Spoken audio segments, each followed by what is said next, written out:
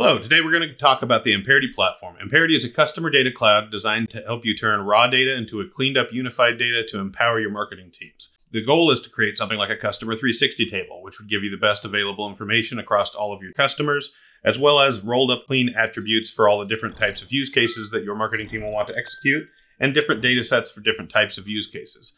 Turning raw data into useful data is hard to do, but you need to start by connecting to your source data sets. You go to your sources tab.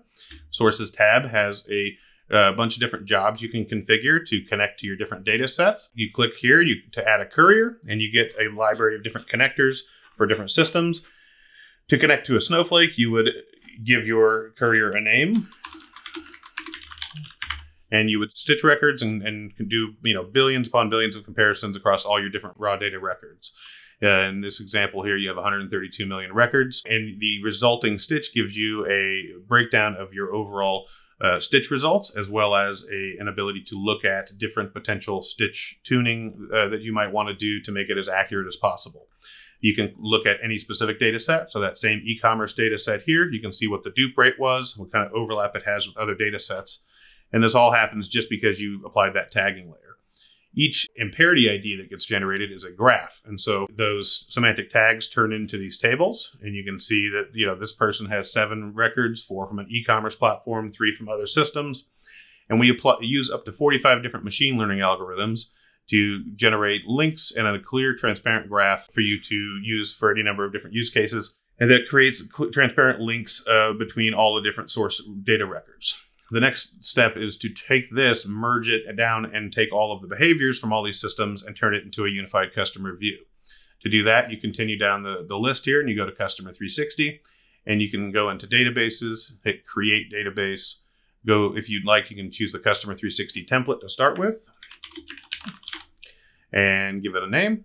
And what that will do is it will create a database full of views that are derived from all of those tag tables that you that you applied tags to earlier eh, from your Snowflake account.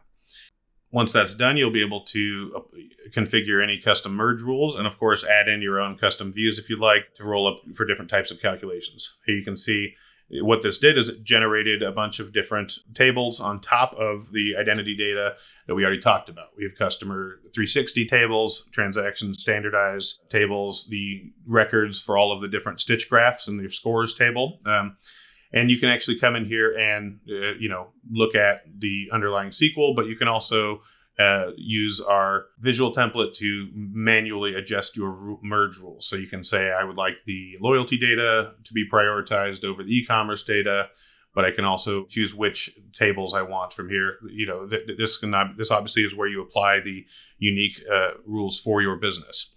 And finally, once you've finished and tailored this to your needs, you'll end up with a single customer view of your data.